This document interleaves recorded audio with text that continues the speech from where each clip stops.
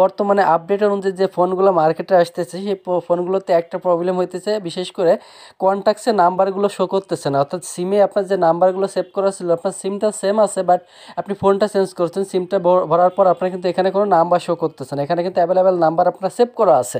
এই সমস্যাটা কেন হচ্ছে এবং এই সমস্যার সমাধান কী আছে, সেটা এই ভিডিওর মাধ্যমে দেখব। তো কথা না ভিডিও শুরু করা যাক।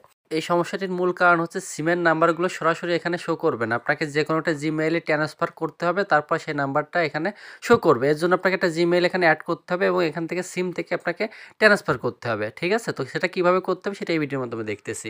তো এর আগের ভিডিওতে আমি দেখাইছিলাম যে এখান থেকে থ্রি ডটের উপরে ক্লিক করে এখান থেকে কিন্তু অনেকগুলো অপশন পেয়ে যাবেন। বাট বর্তমানে আপডেট হয়েছে যার জন্য এই যে ফাংশনটা দেখতেছেন থ্রি ডটের উপরে ক্লিক করলে কিন্তু আপনারা পারবেন না। অথবা এই যে থ্রি ডট পাচ্ছেন এই থ্রি ডটের উপরে ক্লিক করলে কিন্তু আপনাদের এই অপশনটি আসবে না। তো বর্তমানে আপনারা যেটা করবেন, সেটা হচ্ছে এখান থেকে যে ফিক্স অ্যান্ড ম্যানেজের উপরে একটা ক্লিক করতে হবে। দেখুন, এই যে সেটিংটা আছে, এই সেটিংটার উপরে আপনাদের এটা ক্লিক করতে হবে। উপরে বা নিচে করলে কিন্তু কাজ হবে না। তো এখান থেকে ফিক্স অ্যান্ড ম্যানেজের উপরে এটা ক্লিক করবেন। ক্লিক করার পর দেখুন, এখানে অনেকগুলো কিন্তু আপনি অপশন পেয়ে যাবেন।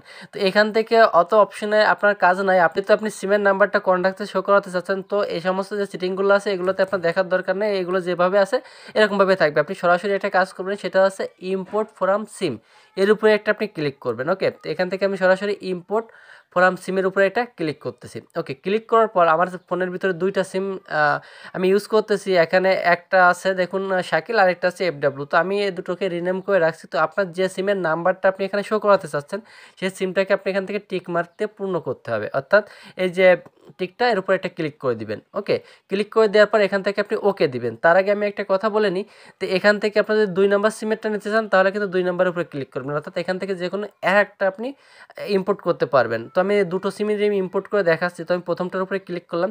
ক্লিক করার পর দেখুন, আমার যতগুলো নাম্বার ছিল, এখানে কিন্তু সবগুলো নাম্বার শো করতেছে।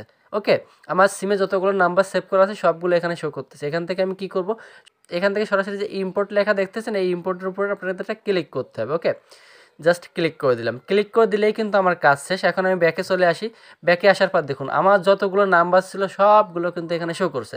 এখন আপনারা অনেকে বলতে পারেন যে, ভাই, আমরা দুই নাম্বার সিমেরটা কীভাবে আমরা সেম একই প্রসেস একইভাবে ফিক্স অ্যান্ড ম্যানেজার উপরে যাবেন। যার পর এখান থেকে ইম্পোর্ট ফাইলের উপর ক্লিক করবেন। ক্লিক করার পর এখান থেকে দুই নাম্বার সিমটা সিলেক্ট করে এখান থেকে ওকে দেওয়া মাত্র আপনার উপরে ইম্পোর্ট ফাইল অপশনটা পেয়ে যান। ক্লিক করলে আপনার এক নম্বর সিম আর দুই নম্বর সিমে যতগুলো নাম্বার সেভ করা আছে, সবগুলো কিন্তু এখানে শো করবে। তো আমার ভিডিওটি এই পর্যন্ত ছিল? যদি আপনাদের কিছুটা ভালো লাগে, কিছুটা কাজে লাগে, তাহলে অবশ্যই চ্যানেলটি সাবস্ক্রাইব করবেন এবং পাশে থাকা বেলাইকনটি বাজিয়ে রাখবেন।